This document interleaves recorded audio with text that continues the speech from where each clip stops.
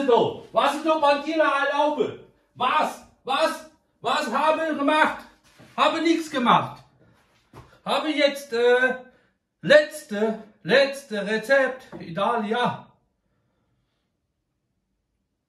Und dann noch eine Nachtisch mache. Was erlaube? Wie Flasche leer? Wie Flasche leer? Was erlaube? Bandila, was erlaube du? Ja. Quatsch beiseite. Dann machen wir halt das letzte deftige italienische Rezept. Vielleicht mal lass mal aufrollen. Ich habe noch ein paar andere.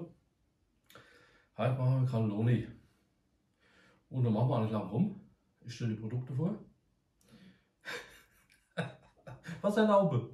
Was erlaube Bandila? So. Und äh, ja, dann nehmen wir schon los. Das ist richtig lecker. Ne? Das sind alles leckere Rezepte. Machen das mal nur, wenn ihr so ein bisschen die Muse habt. So, und dann kochen ein bisschen italienisch. Und dann wenn ihr schon das Aroma, Italien Aroma in die Küche an. Und dann muss ich machen ein bisschen, ein bisschen von allem und dann äh, ist das richtig gut. Ne? Ich sage dir, das wird gut. Nee, komm, wir fangen an. Ich äh, erkläre das. Ich hole die Kamera wieder daher. Stell die Produkte vor. Du guck wieder Kommentare. Das ist jetzt schon. Ah, Gott, nee. So. Komm, ich hole die Kamera her. Spaß beiseite, wir wollen ja was Gutes essen.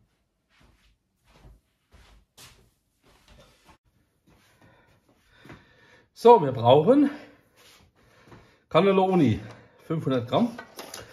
Das sind ungefähr, das sind immer so ein paar Stück dabei, wo kaputt gehen, auch so und so weiter. Das heißt ungefähr so äh, Gastro, halbe Gastrobehälter. Ich voll machen. Ne? Der Rest ist so Reserve, die mache ich nicht drauf. Die sind nur beim Füllen, wenn sie kaputt gehen. Dann brauchen wir fürs Hackfleisch drei Eier, Salz, Pfeffer, Muskatnuss, fertig. Rezept wie immer und ein Video. Genaue Mengeangabe. Ne? So, und dann brauchen wir Säschen dazu, Creme fraiche, äh, Mozzarella,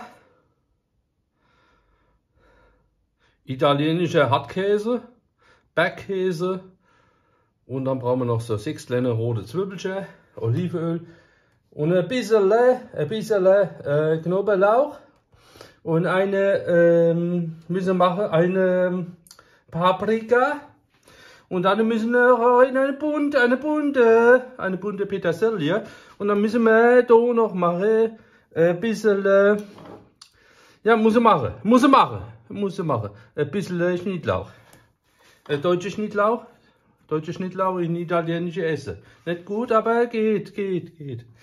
Ne, komm, wir fangen noch. und dann gehen wir. Und dann gehen wir jetzt in die Küche. Was ich vergessen habe, hier dabei zu machen, ist äh, noch ein Esslöffel Zwiebelpulver. Kommt hier noch in, ins Hackfleisch. Und dann starten wir noch alles leer und dann gehen wir in die Küche. Ne?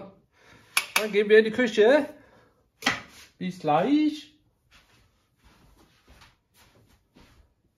Avanti, Avanti. Peterle. Peterle kommt natürlich. Nicht in die Soße, sondern ins Hack. Aber wie gesagt, unter dem Video ich schön das Rezept noch. Video müsst ihr euch angucken, das ist der eine oder andere Trick. Und wie was, in welcher Reihenfolge.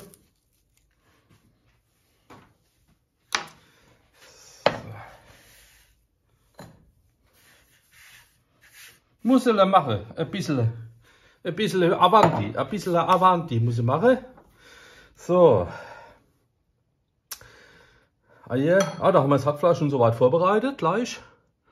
Jetzt schneiden wir noch Schnittlauch leer. Das ist nicht so schön, das schmeißen wir weg. So. Das ist so schwer. Muss er muss ein klein bisschen, ein bisschen klein schneiden. So, so ist das hier gut.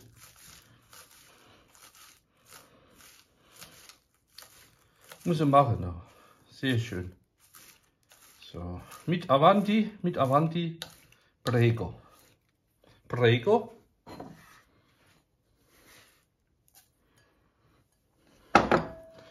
Für unsere leckere Soße. So. Jetzt mache Paprika.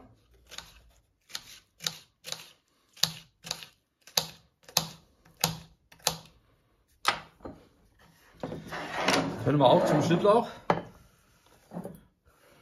Kommt zusammen. Speck für die Soße. Die Schwade müssen wir abschneiden. Und dann machen wir kleine Würfelchen. Ne? Das wird schön angebraten. Das gibt Aroma.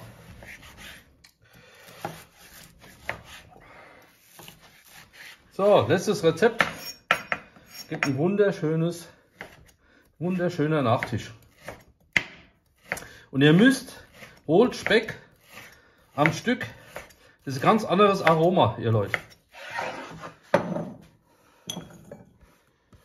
So. Jetzt machen wir die Zwiebeln. Zwiebeln. Machen wir Zwiebeln. So, zum Speck dazu.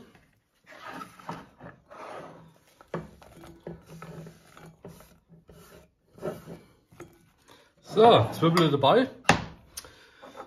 Knoblauch machen wir auch dabei, weil das gar nicht so dunkel angebraten wird. Und deswegen können wir Knoblauch dabei machen, dann ist das nicht so gefährlich. So. Prego. Bellissimo. Käse. Müsst ihr reiben. Das ist wie bei allem. Die äh, am Stück schmeckt einfach am besten. Hat Aroma ohne Ende. So, fertig. Dann müsst ihr hier ein bisschen mischen. Ah, das riecht schon, ihr Leute. Brutal. Das ist Italien. Genau so ist Italien. Genau so. Herrlich. So, haben wir noch irgendwas? Jetzt kommt's. Wir machen hier das rein. So. Und je nachdem, zwei bis drei Eier. Kommt vor auf die Konsistenz. Ne? Ich mache jetzt erstmal zwei rein und teste das. So, dann kommen die Gewürze rein. Esslöffel Zwiebelpulver. Esslöffel Muskatnuss, Esslöffel schwarze Pfeffer und 2 Esslöffel Salz bei 2 Kilo Hack. Ne? So, dann gucken wir mal. Peterle, Ebb und Peterle dabei. Und dann gucken wir mal, wie die Konsistenz ist. Ne? Ja, ich muss noch ein Bild machen. Ich muss noch ein Bild machen. Und ihr müsst, ah, jetzt habe ich ja schon wieder wegen Bild die Hände versaut. So, jetzt pass auf. Ihr müsst nämlich da auch ein bisschen Olivenöl machen. So. Und da klebt es auch nicht so an. Ne? So, und dann nur das Fülle mit Huggy. Das geht richtig gut. Zack, zack. Ist das Ding voll. Die Mafia-Pistole. So, schieben wir dazu. ja. So. Dann macht er drauf. Zack, zack. Kommt die da drauf. Ja, ich muss jetzt einfach mal. Hat auch schon Sprung gemacht. Das ist immer ein bisschen bläder. So, jetzt. Wir mal. Kommt schon raus. Nicht da unten. Gleich ein bisschen die Finger drauf. Dann können die gucken wir. Ruckzuck. Ruckzuck sind die gefüllt, ne? Rucki zucki, ne? Wenn ich also mal gucke, wie die in YouTube sich da abquäle oder die Hausfrau sich abquäle, ist Quatsch, ne? So, das geht ruckzuck. Ja, das sind so die äh, Kochtipps von mir, ne? Macht nichts, kann ruhig ein bisschen kaputt gehen, ist auch nicht schlimm. Machen wir von der anderen Seite noch ein bisschen rein. So. Da passt genau in der Schnabel. der Bandilla, ne? Ja.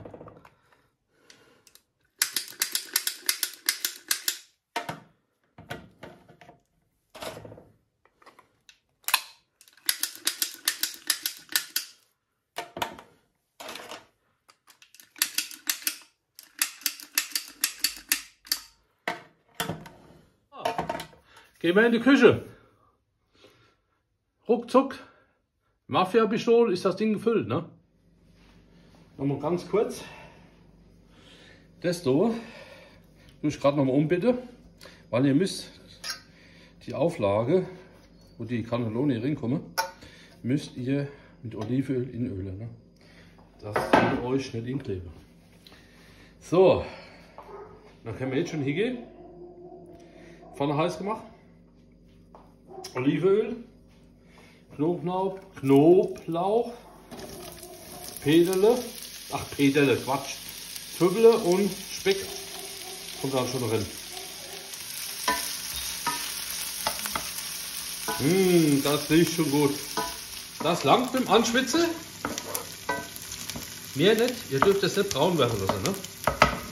So, dann machen wir unser Paprika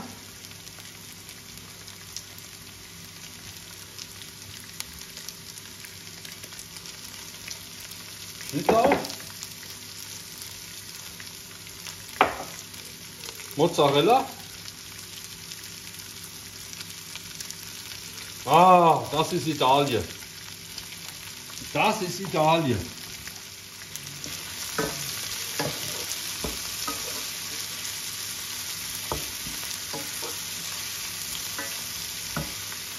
So.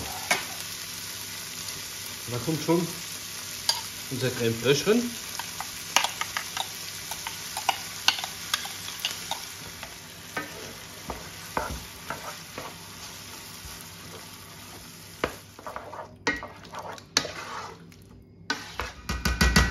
Kurz den Deckel drauf. Durchziehen lassen. So, dann machen wir nur minimal, minimal, ein bisschen Salz, gar nicht so viel. Langt, der Speck hat genug. Und auf jeden Fall brauchen wir aber schwarze Pfeffer.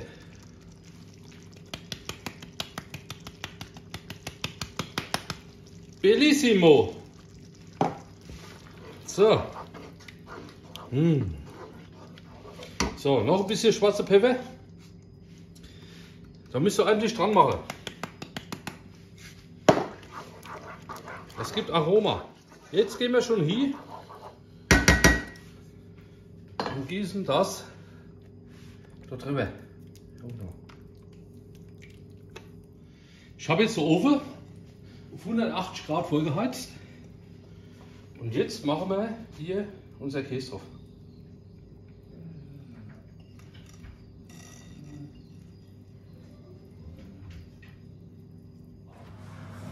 180 Grad, so 45 Minuten ungefähr.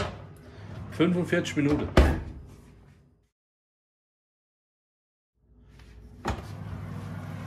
So, eine Stunde, weil wir wollen es ein bisschen knuspriger haben. Herrlich. So, so Cannelloni. Machen wir.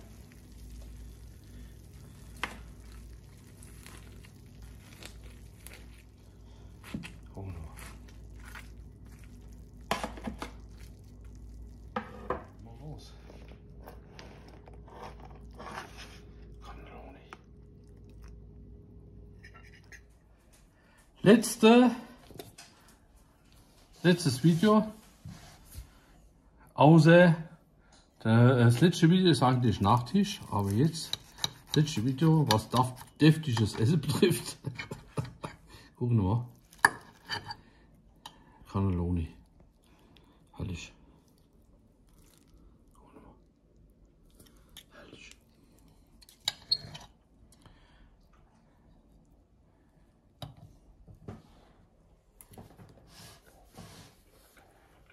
Mm.